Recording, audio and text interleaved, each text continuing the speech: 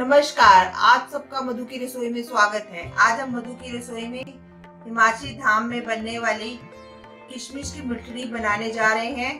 मिठड़ी में लगने वाली सामग्री है 250 ग्राम चीनी, कुछ टुकड़े गरी के, यानी सूखे नारियल के, एक चम्मच मगज, आधा चम्मच मोटी सौंफ, सात से आठ बादाम स्लाइस किए हुए 25 ग्राम किशमिश एक चम्मच, बड़ा चम्मच देसी घी और चुटकी भर खाने वाला लाल रंग। सबसे पहले हमने गैस ऑन करनी है। गैस ऑन कर दिया है, पतीला रख दिया है। उसमें हमने देसी घी डाल देंगे।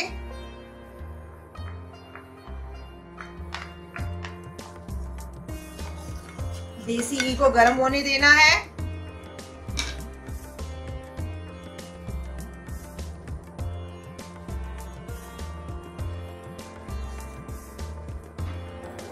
घी गर्म हो चुका है।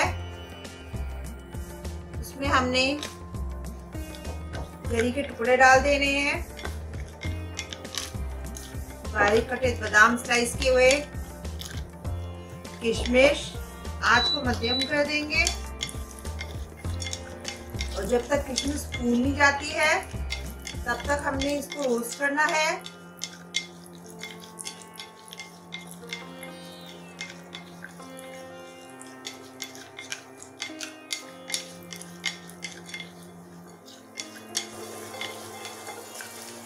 किशमिश फूल गई है, यानी रोस्ट हो चुके हैं। अब गैस बंद कर देंगे।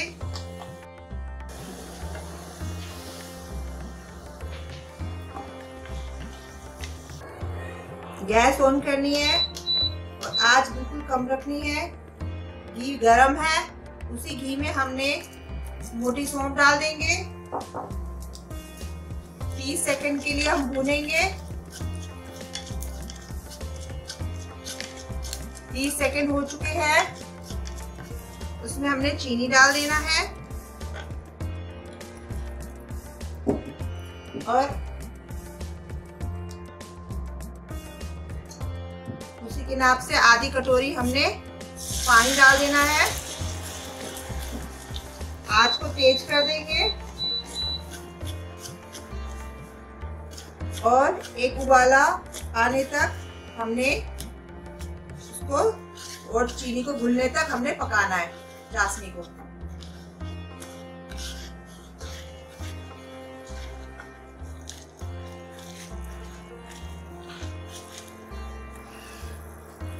एक उबाला आ चुका है, चीनी भी पिघल गई है, आँच को हमने कम कर लेना है, और उसमें हमने चुटकी भर खाने वाला रंग डालेंगे, लाल वाला।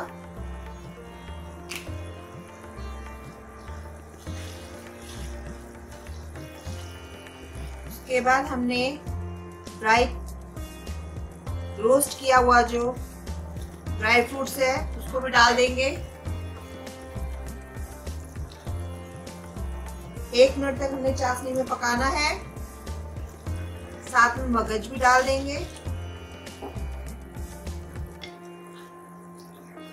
आज कम रखनी है।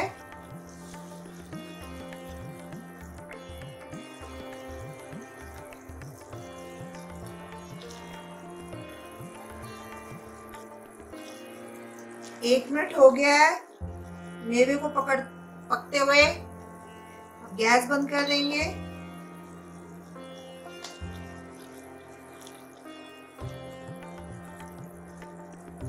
और मिठड़ी को हमने सर्व करना है। हिमाचली धाम में बनने वाली किशमिश की मिठड़ी यानी दाग की मिठड़ी बनके तैयार है। इसे धाम में चावल के साथ खाया जाता है। और यदि मेरी रेसिपी पसंद आई हो तो इसे लाइक शेयर और चैनल को सब्सक्राइब करना ना भूले। साथ ही नोटिफिकेशन बेल को दबाना भी ना भूले, ताकि जो भी मेरी लेटेस्ट वीडियो है, वो आप तक पहले पहुँच सके। धन्यवाद।